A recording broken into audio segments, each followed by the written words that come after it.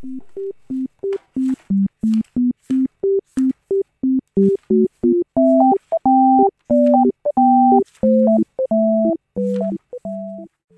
semuanya, Assalamualaikum. Hari ini aku mau share tentang keuangan lagi.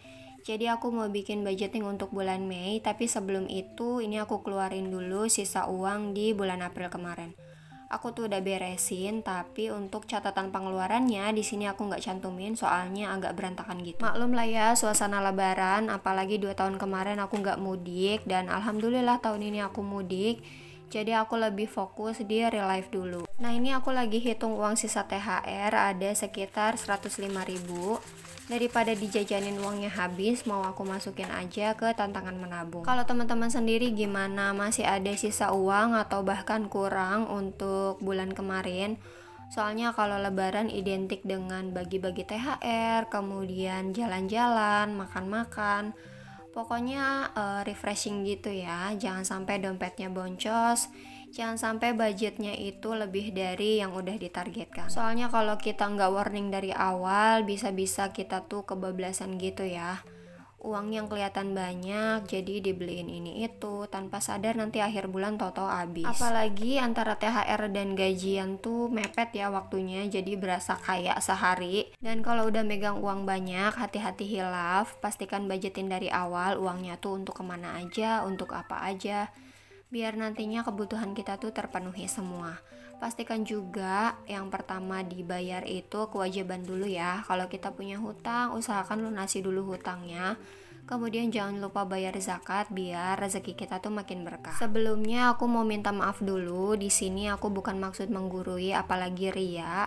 Aku bisa nabung kayak gini melalui proses yang panjang mulai dari punya hutang, kemudian hutangnya lunas, mulai budgeting setiap bulan, mulai mengatur keuangan yang tadinya nggak bisa nabung jadi nabung sedikit-sedikit. Pokoknya semuanya itu ada prosesnya, nggak ada yang instan. Jadi buat teman-teman yang ada di fase-fase kayak yang aku sebutin tadi, tetap semangat. Kita sama-sama belajar keuangan biar ke depannya itu lebih baik lagi. Lanjut ke videonya, jadi ini adalah sisa uang dari budget bulan April kemarin ini mau aku masukin ke tantangan menabung lagi. Sengaja aku kumpulin sampai trackernya penuh biar nanti kalau misalnya uangnya udah kekumpul aku satuin dan aku bisa pakai buat beli barang yang emang aku lagi butuh. Kalau dulu seringnya setiap kali pengen beli sesuatu aku tuh langsung beli kalau ada uang. Tapi kalau sekarang biasanya aku tahan dulu aku pikir seminggu sampai dua minggu apakah aku butuh barang tersebut kalau emang butuh ya dibeli tapi kalau cuman sekadar nafsu atau lapar mata aku nggak jadi beli Contohnya kayak sebelum lebaran kemarin, niatnya aku mau bikin kue kering sendiri, tapi aku belum punya oven. Kebetulan saat itu aku nggak langsung beli, aku tahan dulu sampai dengan dua minggu. Aku pikir lagi bakalan worth it enggak untuk beli oven.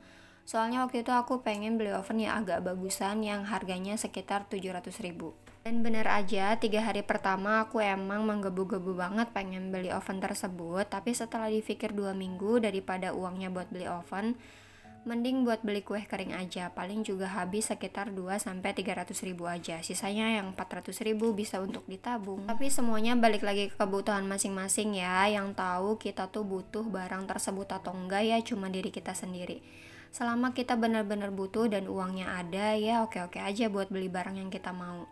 Lanjut lagi ke videonya. Jadi ini aku mau mulai budgeting untuk bulan Mei. Dan untuk di awal ini halaman depan aku tulis bulannya kemudian aku hias sedikit.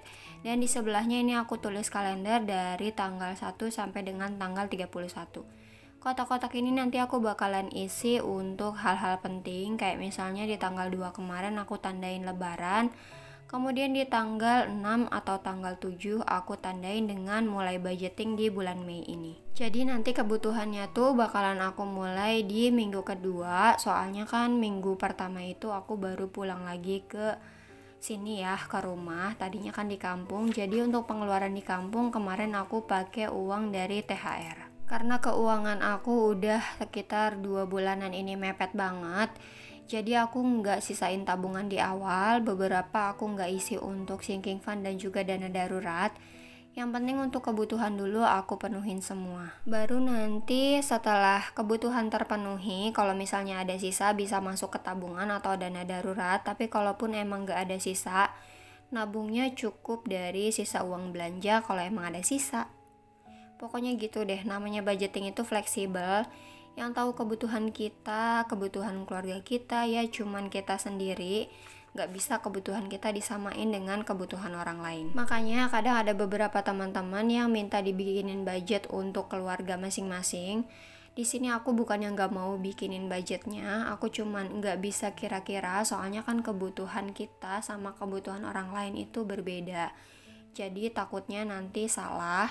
Nah daripada keliru, uh, lebih baik aku kasih contoh budgeting di keluarga aku aja biar teman-teman sendiri yang ngikutin caranya. Jadi gitu ya, semoga bisa dipahami. Pendapatan di bulan ini ada di angka 3,6.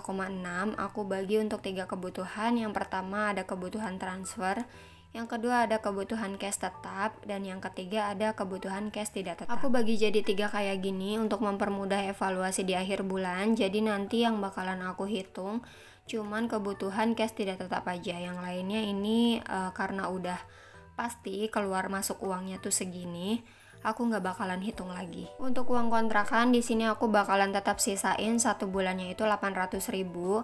Meskipun di bulan kemarin aku udah bayar full 6 bulan ke depan, tapi untuk mencegah uh, adanya apa ya penunggakan atau uangnya kurang nantinya, aku sisain aja setiap bulannya biar lebih ringan. Kemudian untuk zakat dan juga sedekah setiap bulannya aku selalu kurangin di awal jadi nggak masuk ke dalam catatan. Di sini aku nggak maksud sombong ya teman-teman, maaf banget aku cuma mau ngingetin jangan sampai lupa karena di setiap rezeki kita tuh ada rezeki orang lain. Jadi jangan takut rezeki kita habis kalau misalnya kita mengeluarkan zakat dan juga sedekah. Pengertian sedekah di sini bukan hanya tentang uang ya. Kalau misalnya teman-teman uangnya bener-bener pas-pasan banget, kemudian belum mampu untuk bersedekah ya nggak apa-apa. Sedekah bisa berupa tenaga, bisa berupa apa pun. Kalau misalnya kita ikhlas bantu orang juga itu termasuknya sedekah. Mudah-mudahan diganti sama Allah nanti pahalanya berkali-kali lipat. Amin ya Allah ya Rabbal Alamin. Selanjutnya, aku tulis rincian kebutuhan cash tidak tetap, mulai dari belanja bulanan sampai dengan dana cadangan. Ya, meskipun budget untuk bulan ini tuh pas-pasan banget, tapi aku berusaha untuk selalu sisain dana cadangan ini. Takutnya nanti ada hal tak terduga yang emang butuh dana, aku nggak perlu langsung ngambil dari tabungan kalau nominalnya kecil, langsung bisa aku ambil dari dana cadangan ini atau bahkan kalau misalnya ada kategori yang minus bisa ditutup pakai uang ini juga. Gak apa-apa ya, mau berapapun pendapatan kita setiap bulannya tetap harus disyukuri. Yang penting kebutuhan semua terpenuhi, kita nggak ada hutang, jadi pikiran tuh nggak terbebani. Oke, ini aku udah selesai tulis rincian untuk bulan ini. Terakhir ini aku mau bikin total uh, pendapatan dikurangi dengan pengeluaran pendapatan 3,6 kemudian pengeluaran 3,4 jadi hasilnya masih ada sisa uang 200 ribu. Aku juga udah sediain uang cashnya di sini mau langsung aku pisah-pisahin dan masukin sesuai dengan kategorinya. Untuk belanja bulanan 200 kemudian untuk belanja mingguan di sini aku mulai dari minggu kedua soalnya seperti yang aku bilang di video awal tadi minggu pertama itu aku pakai uang dari THR pokoknya masukin aja semuanya sampai selesai karena di sini gak ada uang pecahan jadi aku satu-satuin aja. Dan untuk uang suami sebenarnya aku udah kasihin ke dia tapi karena aku lupa jadi di sini aku ambil lagi uangnya dan mau aku masukin ke sinking fund. Totalnya ada 6 kategori, tapi karena uangnya terbatas, jadi di sini aku masukin untuk dua kategori aja. Untuk lebaran 100 ribu dan juga untuk kurban 100 ribu. Awalnya untuk sinking fund ini selalu aku targetkan nominalnya, tapi berhubung keuangan kan naik turun ya, kita nggak tahu masa depan rezeki kita ada berapa, jadi ini aku isinya sebisa aku aja kalau emang ada uang aku isi dan kalau emang gak ada aku coret aja kayak gini. Isi aja yang benar-benar prioritas dulu, yang lainnya bisa nanti kalau ada rezeki tambahan. Nah yang pertama untuk prioritas aku prioritasin dulu untuk lebaran dan juga kurban. Soalnya kan uang lebaran kemarin tuh udah kepake semua. Jadi ini aku mulai lagi dari awal. Dan kalau untuk kurban, e, mudah-mudahan nanti di Idul Adha aku bisa ikut kurban, tapi aku nggak mau maksain kalaupun gak bisa bisa ikut di tahun depannya lagi. Oke teman-teman segini dulu video dari aku. Semoga bisa diambil manfaatnya. Mohon maaf kalau ada salah kata. Sampai ketemu di video selanjutnya. Bye bye